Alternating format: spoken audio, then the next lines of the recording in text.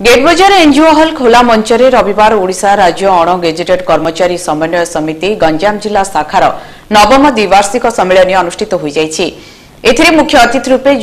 समवाय मन्त्री सूर्य नारायण पत्र सम्मा अतिथिभे ब्रह्मपुर विधायक डाक्तर रमेश चन्द्र चौ आसिका विधाक देवराज महाधि राज्य समाजमंगल बोर्ड अध्यक्ष लतिका प्रधान विड अध्यक्ष सुभाष महारणा ସମନ୍ୱୟ ସମିତିର ରାଜ୍ୟ ସଭାପତି ଜ୍ୟୋତିରଞ୍ଜନ ପଟ୍ଟନାୟକ କାର୍ଯ୍ୟକାରୀ ସଭାପତି ପ୍ରସନ୍ନ କୁମାର ତ୍ରିପାଠୀ ପ୍ରମୁଖ ଯୋଗ ଦେଇଥିଲେ।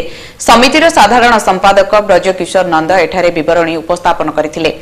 ଅଭ୍ୟର୍ଥନା କମିଟି ଉପାଧ୍ୟକ୍ଷ ଭଗବାନ ରାଉତ ଓ ସମ୍ପାଦକ ପ୍ରଦୀପ ସାହୁଙ୍କ ସମେତ ବହୁ କର୍ମକର୍ତ୍ତା ଏହି ଅବସରରେ ଉପସ୍ଥିତ ଥିଲେ।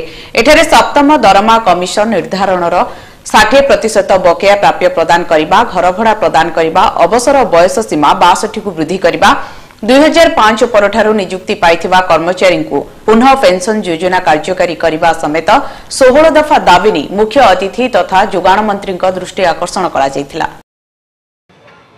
ପରିବାରକୁ ସେ ଟଙ୍କା ପଠାଇ ଦିଆଯିବ ଅନଲାଇନରେ ତାଙ୍କ ଆକାଉଣ୍ଟକୁ। କରାହେଇଛି ଆପଣମାନେ ନିଜ ନିଜ ପଞ୍ଚାୟତରେ ଗୋଟିଏ ଫାର୍ମ ଅଛି ନେରିଆ ଫାର୍ମ। ଆଉ ଦଶ ଲକ୍ଷ କୋଡ଼ିଏ ହଜାର ଚାଷୀ ଜାଗାରେ ଷାଠିଏ ଲକ୍ଷ ପ୍ରକୃତରେ ଚାଷ କାମ କରୁଛନ୍ତି। ଆପଣମାନଙ୍କୁ ସେ କାଗଜ ଦିଆଯାଇଛି ଆପଣମାନେ